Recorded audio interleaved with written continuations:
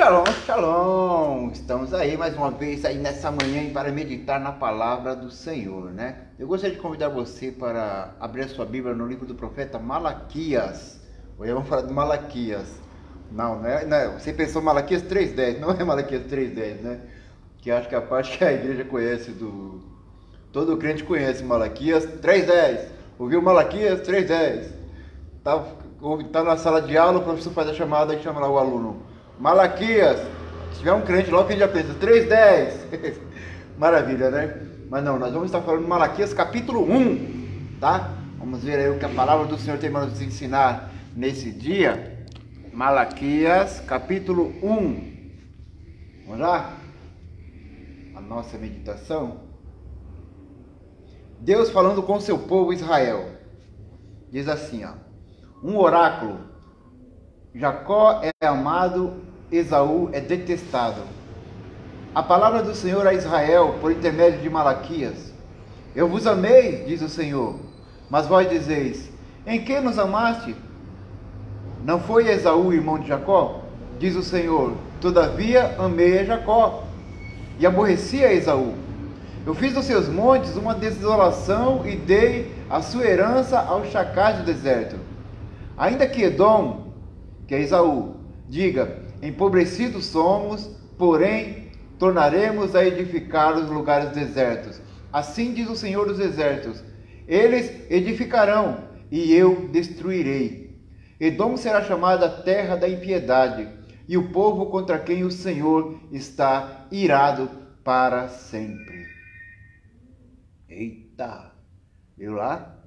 A ira de Deus sobre Edom? E aqui era o próprio Deus falando, hein? Então cuidado aí quando você fala, não, Deus não vai fazer o mal, Deus não vai entrar em juízo, Deus é um Deus de amor, é um Deus de misericórdia. Realmente, ele é um Deus tremendo. Deus é amor. Deus ele é puro, santo e misericordioso. Ele é grande em misericórdia, mas também ele tem o seu lado de justiça e o lado que se aborrece. Mas Deus se aborrece?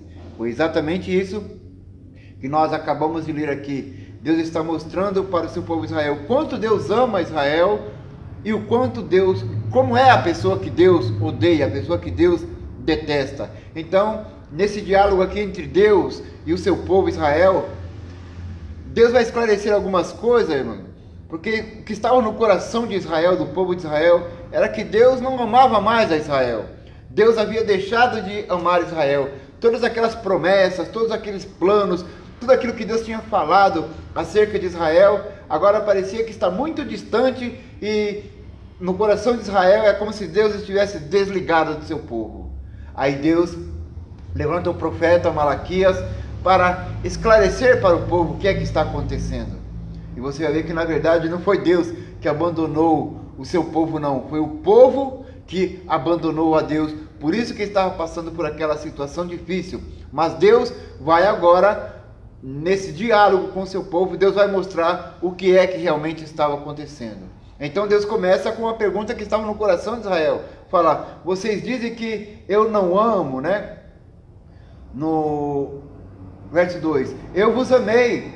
Deus já começa trazendo a resposta para Israel. Eu vos amei. Mas vós dizeis, em que nos amaste? O povo não acreditava nem no amor de Deus sobre ele. A situação estava tão complicada que o povo não acreditava que Deus. E Deus falando para ele: Eu vos amei.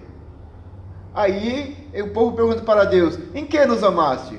Aí Deus vem com a resposta: Não foi Esaú, irmão de Jacó? Diz o Senhor: Todavia amei a Jacó.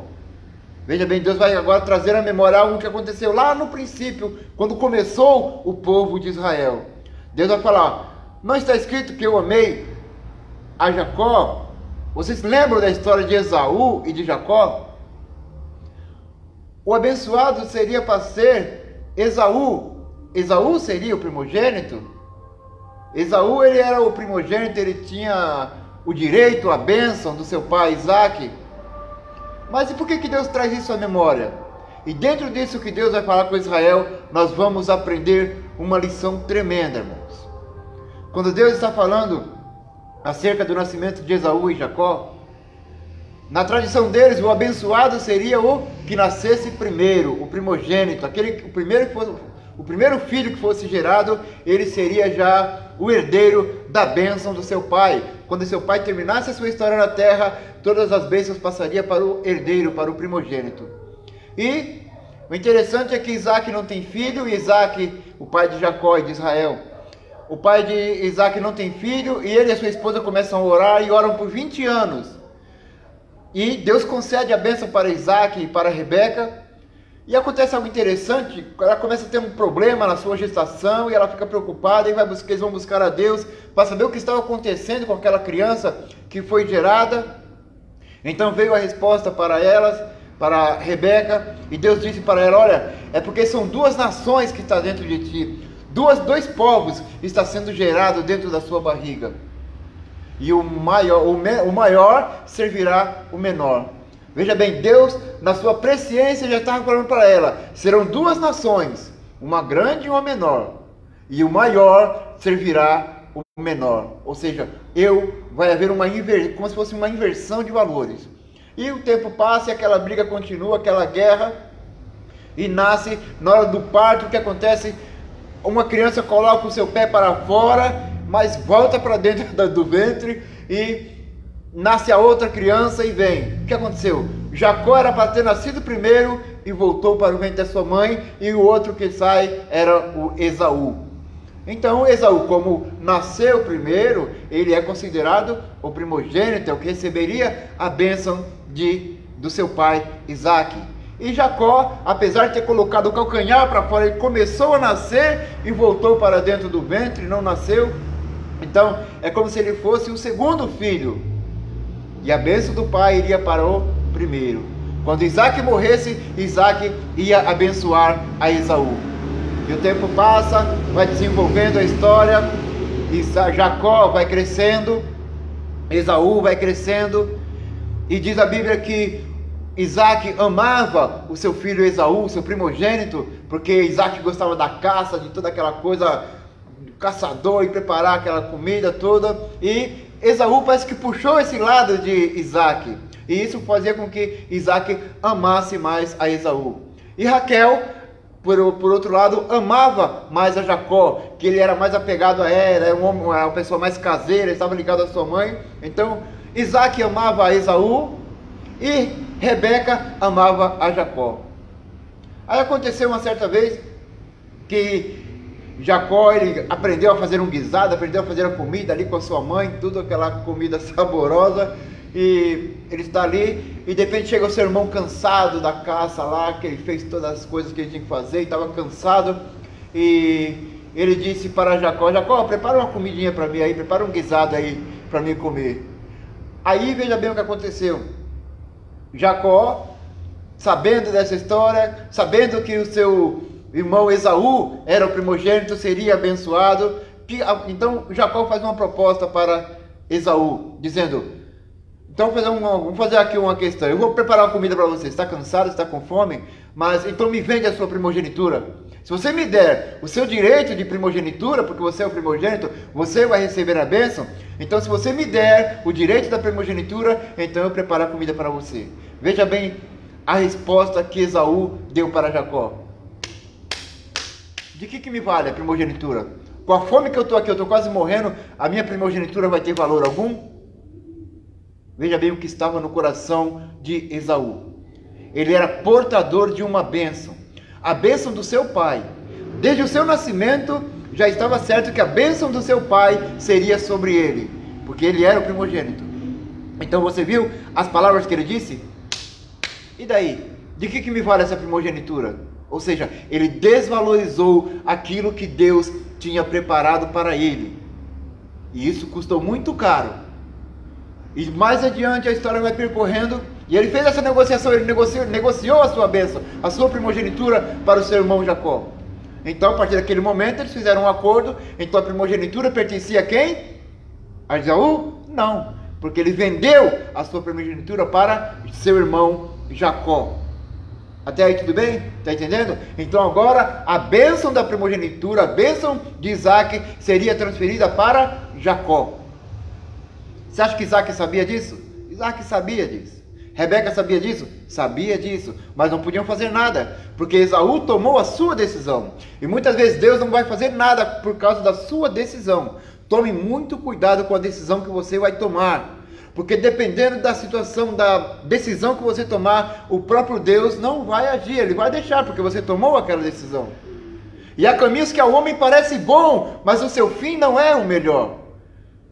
E apenas uma coisa que parecia simples. O que, que Esaú fez? Ah, minha primogenitura não vale de nada. Mas para Deus valia muita coisa. E vai passando-se o tempo, até que chega o tempo em que Isaac está para morrer, e Isaac vai abençoar, vai transferir a bênção para o seu filho. Então ele chama o seu filho mais velho, que é Esaú, e diz: Esaú, prepara para mim uma caça, porque eu estou, eu estou quase morrendo aqui, eu já estou na beira da morte, mas antes de morrer eu vou te abençoar. Então você vai lá e faz o melhor, prepara uma caça e prepara uma comida para mim, para que eu vou comer e eu vou me alegrar no que você fez para mim e eu vou te abençoar, aí eu posso morrer em paz. E Rebeca ouviu aquilo. E Rebeca, a esposa de Isaac, chega para Jacó e fala: Jacó, o seu pai ele vai morrer e vai transferir a bênção para Esaú, mas essa bênção vai parar na sua mão, Jacó. Mas Jacó falou: Mas como que eu vou fazer?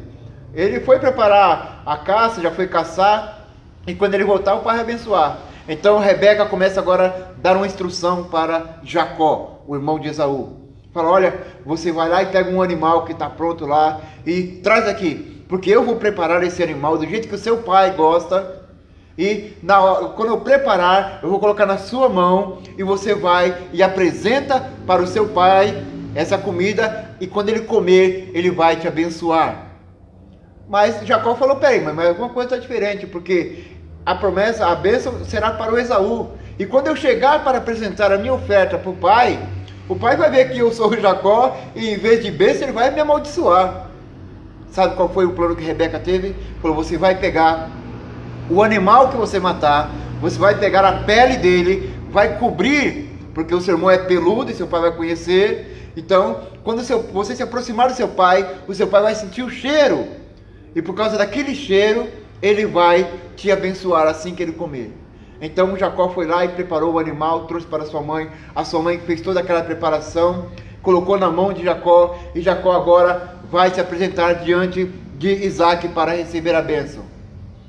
Aos nossos olhos, irmãos, parece que está acontecendo algo estranho. É como se ele estivesse roubando a bênção de Esaú. Mas na verdade, Jacó não estava roubando a bênção de Esaú. Ele estava tomando posse do que já era seu. Lembra do episódio da lentilha? Quando Esaú ele se desfez da sua primogenitura e transferiu ela para Jacó. Então o que Jacó estava fazendo agora é tomando posse daquilo que era seu. E diz a Bíblia que quando Jacó se aproxima, Isaac pergunta: Quem é? Ele falou: Sou eu, teu filho. Eu vim trazer aqui a, o prato para que o Senhor possa me abençoar. E Isaac acha estranho aquilo e fala: Peraí, mas quem está falando aí? É o Jacó ou é o Esaú? Ele fala: Sou eu. Ele falou: Não, vem aqui, chega mais perto. E quando Jacó se aproxima do seu pai, seu pai toca na sua mão e percebe que não era a mão de Jacó, era uma mão peluda. Então ele diz: opa, é o Esaú. O cheiro começou a cheirar, o cheiro é o de Esaú, mas era Jacó que estava ali. Interessante, tá, irmãos? Muito interessante o que está acontecendo. E através desse fato, Deus quer nos ensinar muita coisa. Você pode aprender muito nesse ato que está acontecendo aqui. Que muitas vezes com nossa mente natural nós vamos ter uma dificuldade para entender, mas há uma lição espiritual. E Jacó diz assim: estranho. O cheiro é de Esaú, a voz é de Jacó, mas o cheiro é de Esaú. Então ele se alimenta e ele come, e ele estende a sua mão e abençoa a Jacó. E transferiu toda aquela bênção que seria para Esaú, ele transfere para Jacó, e Jacó sai dali abençoado. E quando Esaú volta, como prato, conforme seu pai havia falado, ele diz: Pai, vim aqui trazer aqui o prato para que o Senhor me abençoe. Na hora deu aquele estalo em Isaac, e ele fala: Peraí, mas quem foi? Então foi o teu irmão que veio aqui e tomou posse da bênção. Você perdeu a sua bênção.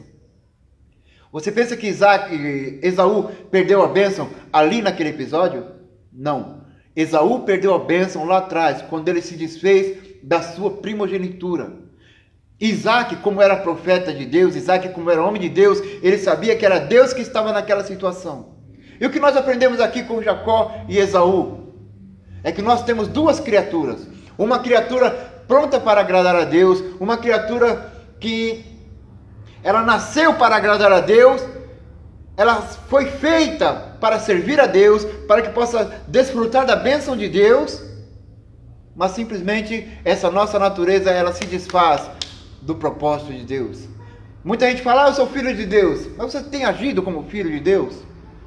Os seus atos vai mostrar se você é filho de Deus ou não. Porque o que fazia com que Isaac amasse a Esaú eram as obras de Esaú, a forma que Esaú se portava, fazia com que Isaac amasse e quando chegasse o momento certo, Isaac abençoaria Esaú.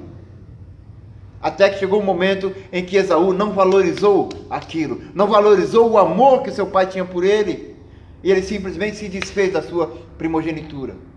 Então, meu irmão, cuidado como você tem se comportado. A Bíblia nos ensina a nos comportarmos como filho de Deus. Nós somos filhos, você diz que você é filho de Deus, procure andar como Deus. Como que é andar como Deus?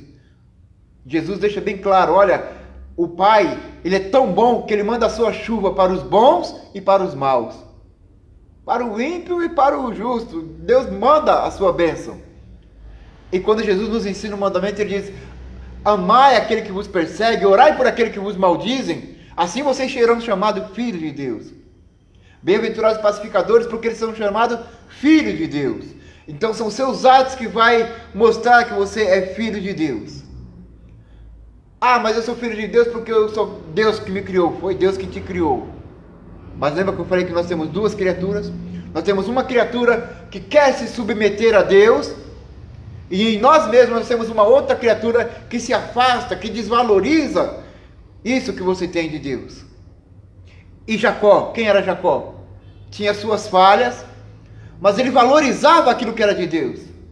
Quando ele negociou a primogenitura, é porque ele via aquilo como uma bênção de Deus. E ele disse: Eu preciso tomar posse dessa bênção. E essa, eu pago o preço. Eu, tenho, eu vou dar isso e vou receber a minha bênção. Interessante, não é? Ele estava correndo atrás da bênção de Deus. Aquilo que ele viu que poderia não ser para ele, ele falou: Eu quero a bênção do meu pai. Ela pertence a outro, mas eu quero a bênção do meu pai para mim. Aí entrou aquela negociação, quando ele chega para o seu irmão e fala: Você está morrendo de fome? Eu vou te preparar um presente se você me der a sua primogenitura. Veja bem, ele queria aquilo, ele queria aquela bênção. E o irmão simplesmente desfez a bênção e passou para ele. E a partir daquele momento ele passou a ser abençoado. E agora, no momento da transferência de bênção, quando o pai Isaac iria abençoar Esaú, essa seria a hora em que Jacó iria tomar posse daquilo que era seu. Tá? Então lembra isso, você tem duas criaturas, você tem uma natureza humana que tem a tendência de se afastar de Deus, mas você também tem em você mesmo uma natureza divina. Lembra que Isaac, lembra que Jacó e Esaú eram gêmeos? São dois filhos gêmeos, nasceram no mesmo dia, vieram do mesmo ventre, filhos do mesmo pai. Isso reflete na nossa natureza humana. Nós temos parte da natureza divina de Deus, como filho de Deus, mas nós temos uma natureza humana. E a nossa natureza divina tem que prevalecer no momento certo, porque é essa natureza divina que vai receber a bênção de Deus. E nós temos que tomar muito cuidado para que essa nossa natureza humana não faça com que nós venhamos perder a bênção de Deus. E nós temos que estar bem atento para que a nossa natureza divina esteja pronta para, no momento certo, ouvir a instrução de como tomar a bênção. Sabe quem ensinou Jacó a tomar a bênção? Foi a sua mãe. Ele não sabia o que fazer. Então a sua mãe deu toda a orientação de como ele deveria fazer para tomar posse da sua bênção. E hoje eu gostaria de simbolizar você a palavra de Deus, a instrução. Essa é a instrução. Aqui está as palavras de Rebeca que vai te ensinar. O que, que ela vai dizer? Você vai pegar a sua estrutura, você vai, mesmo parecendo Esaú, parecendo aquele que perdeu a bênção, mesmo você parecendo aquele que Deus não ama. Lembra da primeira palavra que nós lemos no profeta Malaquias? Que Deus amou a Jacó e aborreceu Esaú. Antes dos dois terem nascido, Deus já havia escolhido a Jacó. Por quê? Porque Deus conhece o coração. Deus já conhecia o coração de Jacó. E ele disse para Rebeca: Olha, Rebeca, dentro do teu ventre tem duas nações: o povo de Esaú, o povo de Edom e o povo de Israel.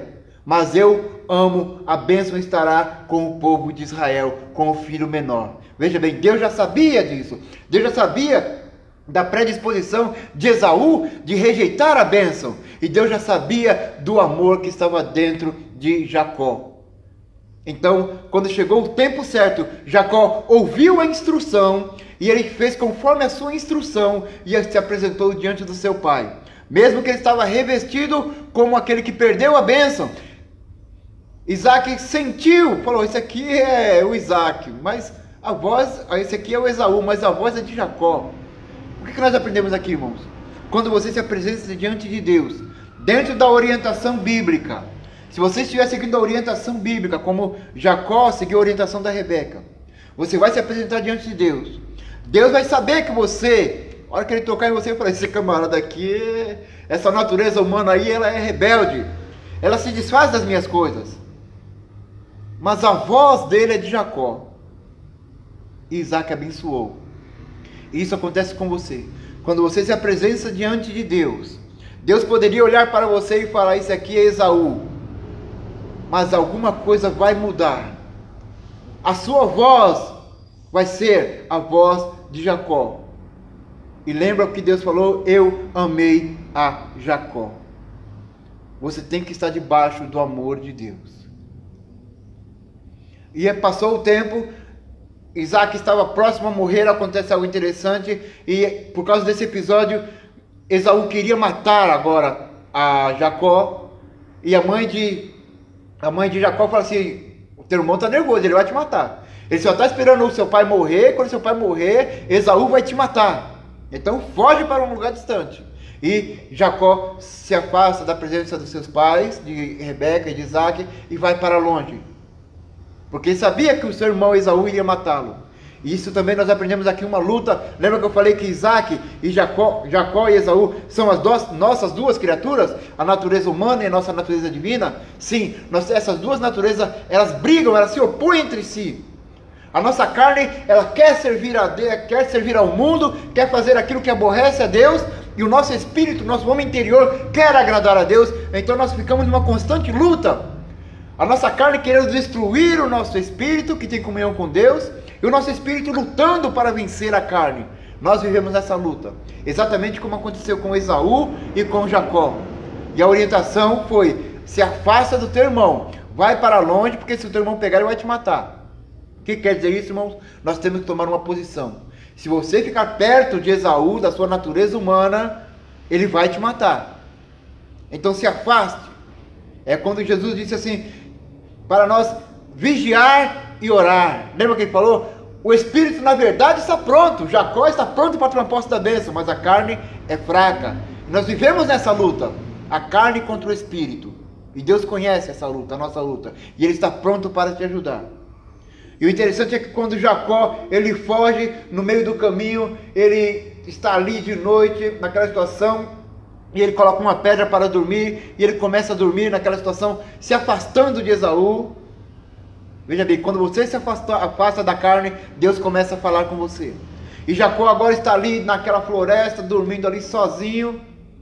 E ele tem um sonho, e nesse sonho ele vê uma escada e anjos estavam subindo e descendo. E ele falou: Esse lugar não é outro senão a porta do céu. E Deus aparece para ele e fala: Olha, Jacó, você está fugindo e saindo para longe, mas eu vou estar com você aonde você estiver. Assim como eu fui com Abraão e com Isaac, eu não vou te abandonar enquanto eu não cumprir a bênção. Essa bênção que você acaba de tomar posse, eu não vou te abandonar enquanto eu não cumprir tudo que tenho falado. O próprio Deus falou com ele, então ele acordou e viu que era um sonho. Ele falou: Meu Deus, esse lugar não é outro senão a porta do céu. Veja bem, Deus falando com Jacó. Quando ele se afastou de Esaú, quando você se afasta da sua natureza humana, dos atos humanos, daquilo que é a sua tendência humana, tudo aquilo que nos leva a pecar, a transgredir contra Deus. Quando você procura se afastar, você luta para se afastar, Deus também entra no meio para te ajudar e falar: enquanto você estiver lutando para se afastar, para se manter vivo, a sua parte espiritual, o seu lado espiritual, o seu lado que é abençoado, enquanto você luta para se afastar, Deus vai intervir e falar: Eu estou com você e eu não vou te deixar enquanto essa bênção não se cumprir na sua vida. E passaram-se os anos e chegou o tempo que Jacó ia voltar para sua casa e quando Jacó estava voltando, o que acontece? Ele recebe uma notícia que o seu irmão Esaú, que queria matá-lo, está vindo ao seu encontro. Veja bem, mais uma vez, vai entrar em confronto as duas naturezas. O abençoado Jacó agora vai dar de frente com Esaú. Ele falou: Agora eu estou perdido. Ele não me matou daquela vez, mas agora ele vai me matar. E diz a Bíblia que ele se separou das suas mulheres, seus filhos, seus animais, ficou sozinho naquela noite, preocupado com o seu encontro. Jacó ia encontrar com seu irmão Esaú e ele estava com medo, porque Esaú ia matá-lo, Esaú queria matá-lo mesmo, ia arrebentar com ele. E ele começa a orar e buscar a Deus. E ele começa a orar e buscar a Deus. Talvez passou um filme na sua mente de quando o seu nascimento, da história da lentilha que ele tomou a bênção do comprou a bênção da primogenitura. Talvez passou na sua mente o episódio lá de quando ele foi abençoado pelo seu pai Isaac. E quando ele está ali naquela situação, diz a Bíblia que um anjo estava ali perto dele. E o anjo chegou a hora do anjo subir para o céu e ele fala: Vai ser agora. Ele grudou naquele anjo, ele sabia que era de Deus. E ele disse: Você não vai sair daqui enquanto você não me abençoar. E o anjo falou: Não, Jacó, me larga que agora eu tenho que subir para o céu. E ele grudou naquele anjo e falou: Não, você não vai sair daqui enquanto você não me abençoar, eu vou lutar. E diz a que eles lutaram. Jacó agora começa a lutar com o anjo. Veja bem o interessante. Lembra que nós falamos que Jacó e Esaú era a sua natureza humana lutando contra a sua natureza divina? Agora nós vemos Jacó lutando contra um ser celestial, como se estivesse lutando contra o próprio Deus. Ele fala: Não, agora eu quero a agora é que eu quero a bênção mesmo. Se eu lutei contra. Eu lutei contra o meu irmão, contra a minha carne, aquele que é a minha carne, para tomar posse da bênção. Então, se for possível, agora eu vou lutar com Deus. Então você não vai sair daqui. Enquanto o Senhor não me abençoar, eu quero a bênção. E o anjo falou para ele: Tá bom, qual é o teu nome? Ele falou: Meu nome é Jacó. Ele falou: Então a partir de agora o seu nome será Israel. A partir daquele momento ele recebe a bênção de Deus. Transforma-se de Jacó para Israel. Agora entendeu por que o povo de Israel, quando chegou para Deus achando que Deus não os amava, e Deus faz Israel, o povo de Israel lembrar de toda essa história? Vocês lembram da história de Esaú e de Jacó? Vocês são descendência de Jacó. E eu amei a Jacó ainda no ventre da mãe dele. Eu escolhi, eu amei ele. Eu aborreci. E Deus começa a falar que vocês lembram de Esaú? Vamos ler aqui o que Deus está falando do profeta Malaquias acerca de Esaú. No capítulo verso 3. E aborrecia Esaú. Eu fiz de todos os seus montes uma desolação e dei a sua herança aos chacais do deserto. Ainda que Edom diga, empobrecidos somos, porém tornaremos a edificar os lugares desertos. Assim diz o Senhor dos Exércitos: eles edificarão e eu destruirei. Edom será chamada terra da impiedade, e o povo contra quem o Senhor está irado para sempre. Quando Israel pensava que Deus não amava, mas ele está falando: não. Vocês querem saber o que é uma pessoa que eu não amo? Uma pessoa que eu odeio para sempre? E contou a história de Esaú. O que, que Esaú fez?